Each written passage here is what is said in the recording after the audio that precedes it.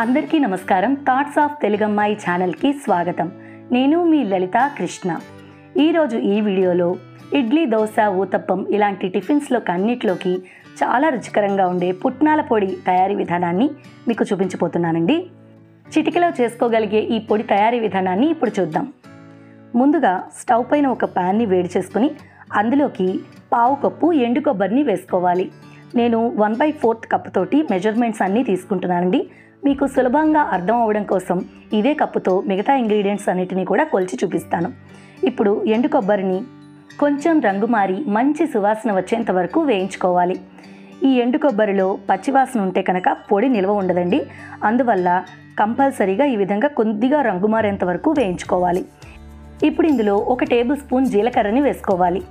ఈ జీలకర్రని ఒక్క నిమిషం పాటు స్టవ్ని లో ఫ్లేమ్లో పెట్టి వేయించుకుంటే సరిపోతుంది.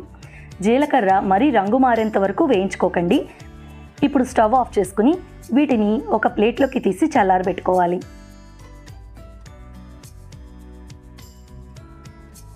ఇప్పుడు అదే ప్యాన్లోకి ఒక టీ స్పూన్ నూనెని వేసుకోవాలి. ఈ నూనె కాస్త వేడెక్కిన తర్వాత ఇందులోకి పదిహేను ఎండుమిరపకాయలని వేసుకోవాలి.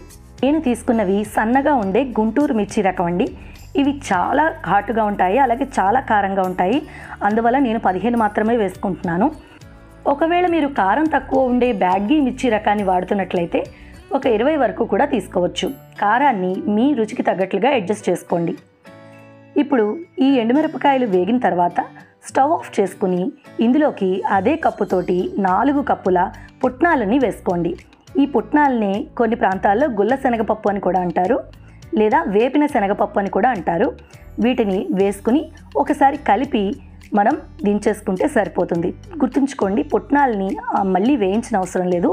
ఇవి ఆల్రెడీ వేగినవే ఉంటాయి. అందువల్ల ఇలా ఒక్కసారి వేడి చేసుకుంటే సరిపోతుంది. మనం పెనంలో వేసుకోవడం వల్ల ఆయిల్ని కూడా ఈ గులశనగపప్పు బాగా పీల్చుకుంటుంది.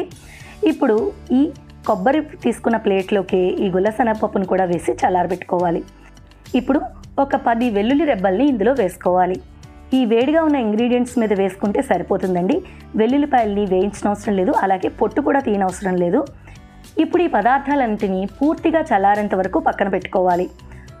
చూసారు కదా ఇవన్నీ ఇప్పుడు పూర్తిగా చల్లారిపోయాయండి. ఇప్పుడు వీటిని ఒక మిక్సీ జార్లోకి వేసుకుందాం.